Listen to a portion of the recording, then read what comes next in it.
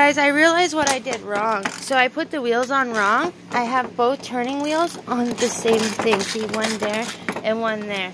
So I guess I really fucked up big time. So that's what I did. I guess these wheels don't turn. They don't turn.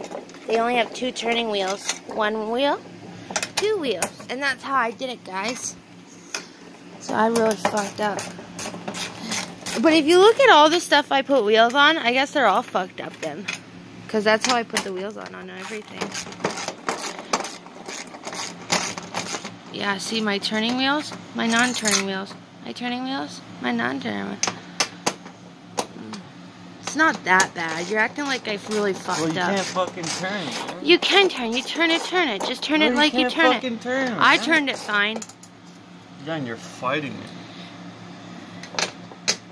And how, how do you figure it doesn't turn? There's a turning on each leg. No, it doesn't fucking turn, man. What does it matter if they're both at the bottom or both like that? So you can fucking turn so the thing don't just go straight. No matter what, just square.